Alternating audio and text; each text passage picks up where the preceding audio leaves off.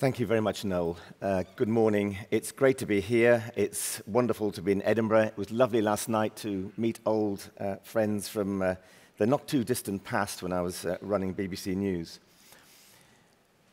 I want to begin today uh, not with the big picture, we'll get to that later, but with a small one. And here it is. It's hard because I, I, you call a financial crisis, you're totally oblivious to it when you're in it. Um, so you just, it's day to day. I'm only just getting to the point where I was 10 years ago. You know, I wasn't aware, which seems a bit naive, but of what was going on elsewhere because it wasn't a concern because all I was trying to do is make sure there's food on the table, lights come on when you hit the switch, you know, it's, you've got water, you've got heating. Jobs are good then. That uh, was Earl Marchant a single parent from Manchester, uh, which is a couple of hundred miles south of here. And he lost his job 10 years ago in the teeth of the financial crisis. And we put him at the heart of our 10th anniversary coverage of that crisis just recently. Coverage that also included long reads, digital videos, short explainers, as well as the more recognizable pieces on radio and on television. And I've chosen that clip because it says something quite simple but also important about our journalism. Because our job, as it always has been, is to put Earl Marchant first. And by that I mean putting the audience first. How does he and millions of people like him make sense of a world which he's often told is in chaos, a world which can feel polarized, noisy, and full of, of misinformation? I believe our role is straightforward to fulfill our responsibility to Earl, to the audience. But to do that, we need to look carefully in the mirror. We know just how many challenges we have to navigate. In fact, given our unique position, we have a duty to navigate. So, what are some of those challenges? The world is interconnected, it's complicated, information moves fast, whether it's true or false, or, and isn't this the hardest, if it's somewhere in between. At the same time, the world is alive with activism and aggression, and a sense that if you do not agree with someone else, you're their enemy. And what happens if that enemy is powerful, a government, or those who enforce the law? Are you then the enemy of authority? It can feel like our profession right now is under siege, and that's wrong, and we shouldn't feel like that. There cannot be a more important issue for us as journalists the ability to report without fear of reprisal. We cannot lose that, and as we've seen, the threat is growing, and the consequences are brutal. Some of our colleagues have died simply for being journalists, for doing their job. It's happening all too often across the world. But for us in the European Broadcasting Union, it's happening close to home too. We have become far too used to the targeting and killing of journalists in Mexico or in Afghanistan or during the war in Syria. And we've recently seen the fatal shootings of five colleagues at the Capital Gazette in Annapolis. But look what's happening here in Europe too. We've seen the targeted killings of investigative journalists, Daphne Caruana in Malta and Jan Kuciak in Slovakia.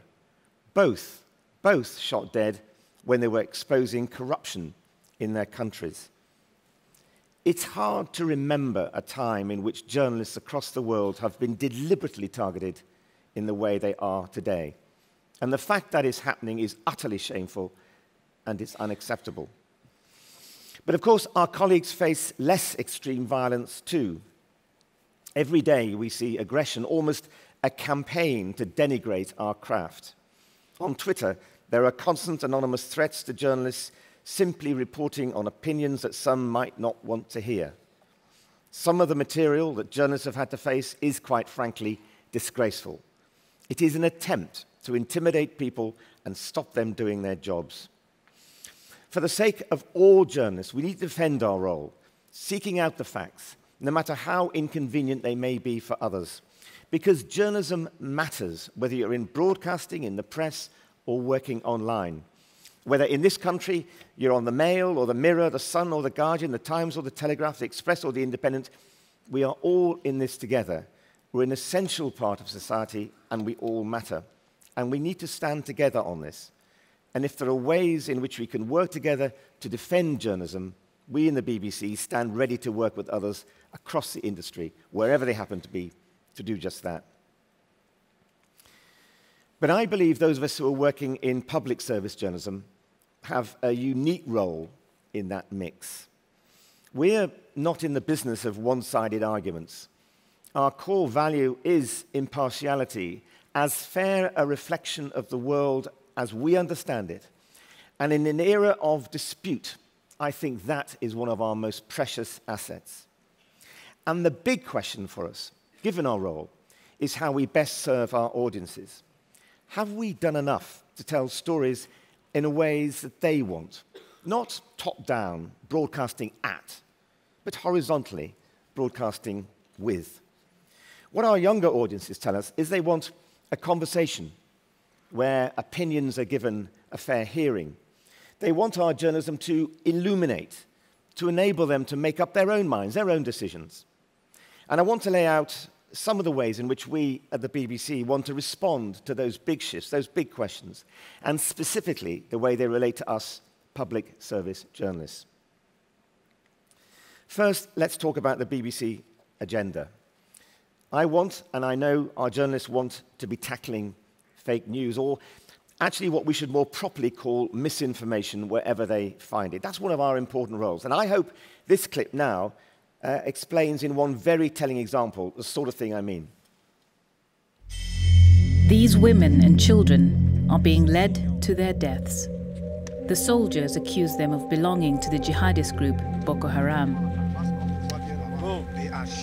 In the final scene of this video, too graphic to show here, they're blindfolded, forced to the ground, and shot at close range 22 times. One of the women still has the baby strapped to her back.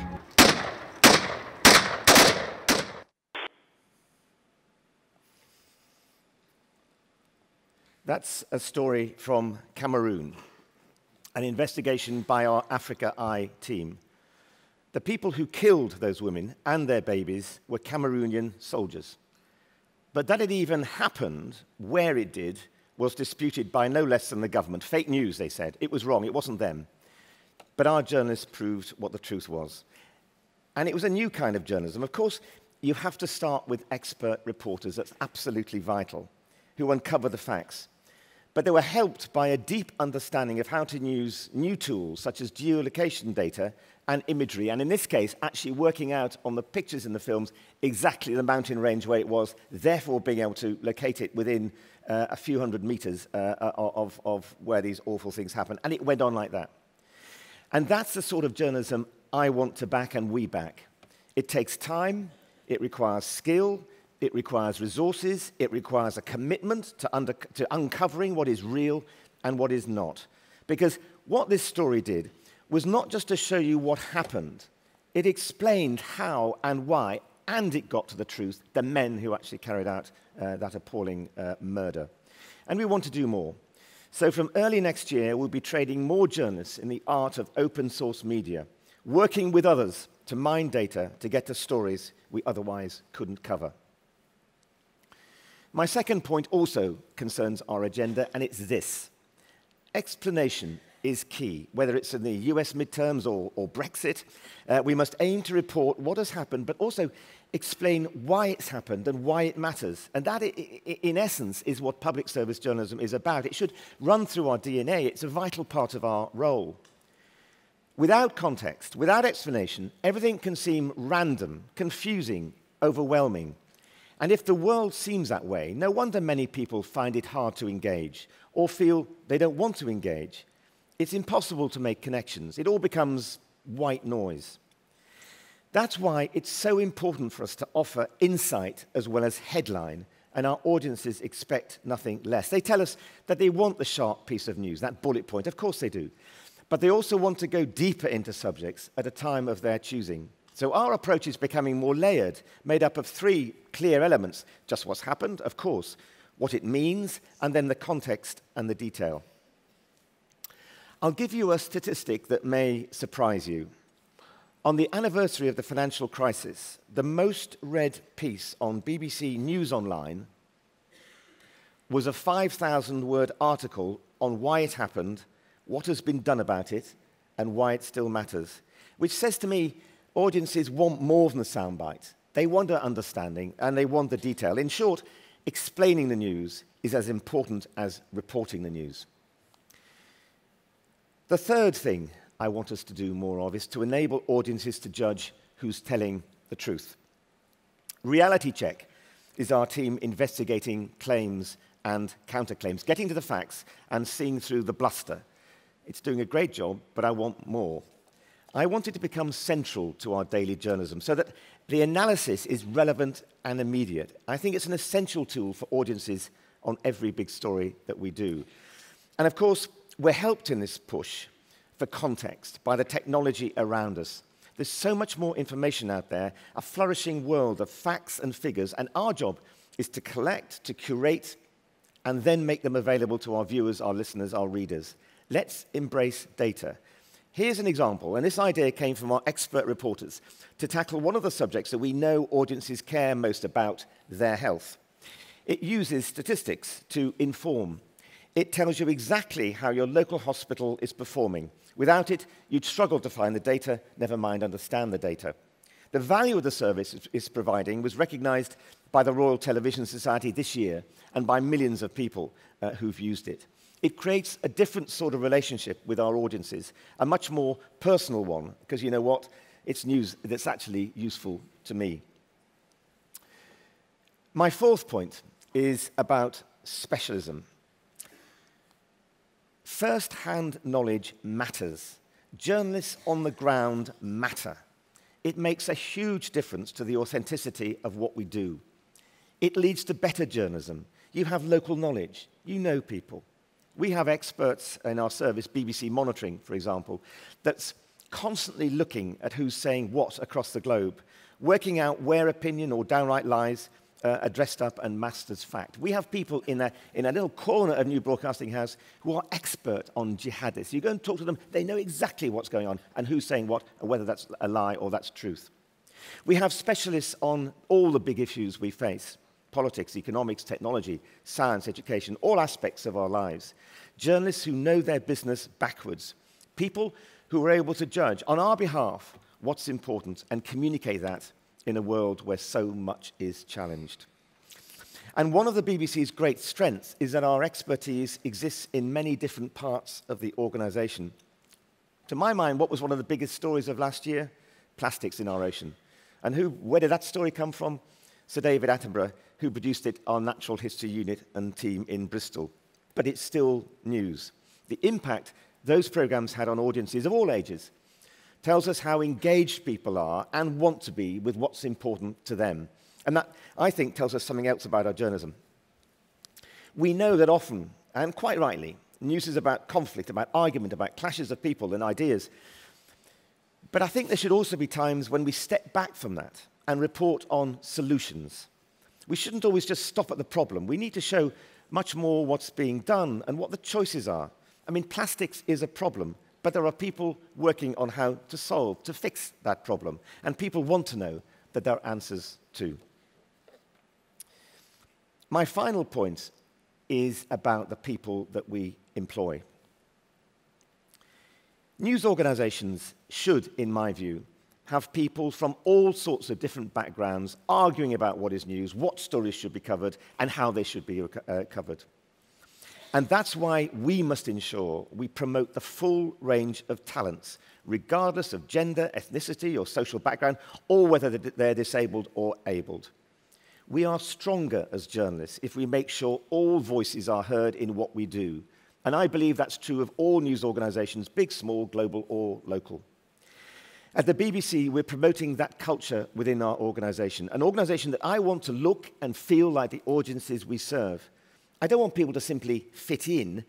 I want people who are going to argue, who are going to change our tone, the stories we cover. This improves our journalism. What a strength we have in Nawal Al-Maghafi from the Yemen, Anne Soy, based in uh, Nairobi, Shingai Nyoka, based in Harare, specialists who've made a difference to how we report the world, bringing their insights to the whole world. Uh, and then, of course, not only globally, but back here into Britain. We are stronger because of that. It's the stories they choose, it's the tone as well, a conversation, I hope, horizontal broadcasting with. We're all here today for a very important reason because we all care deeply, passionately about the future of journalism. What unites us should not be a shared sense of threat, but a sense of values. And that's why, when I was asked, uh, would I be happy to take on the presence of the EBU uh, alongside the day job, uh, I, I couldn't resist it. I didn't hesitate. I haven't started yet, so maybe I'm seeing this optimistically. But I feel there's so much more we can do together to champion the values we stand for, together, to share ideas, to share technology. Amy mentioned so many things that we could do together. And of course, uh, talent. At a time when resources for original journalism can be thin on the ground, the need for us to work together has never been greater. We have a long history together. The EBU's been sharing news content every day since 1962, and there's plenty going on among all the members. The Investigative Journalism Network, for instance, brings EBU specialists together to produce stories none of us could do on our own. We want to work with others. Our World Service just this week has done two amazing events on the challenges of fake news in Delhi, which I had a minor walk on part in, and Nairobi, alongside Google, Twitter, and Facebook, working together. And the audience research they've done, which some of the social media companies co funded, is illuminating for all of us and our audiences. Because what it shows is that young people want to understand the world around them, they want to see their worlds reflected in our journalism. That's why it's so great, by the way, to see 50 journalism students join us together uh, today. That's great, and from across uh, the world. I'm also going from here to launch another initiative, which is BBC Young Reporter here in Edinburgh this morning, aiming to give thousands of 11 to 18 year olds the media skills that will help them distinguish a fact from fiction. And again, we can only do this by working with others together in our industry, in education, in charities, in government. So my view is let's do more. That can be our legacy, our gift to the next generation.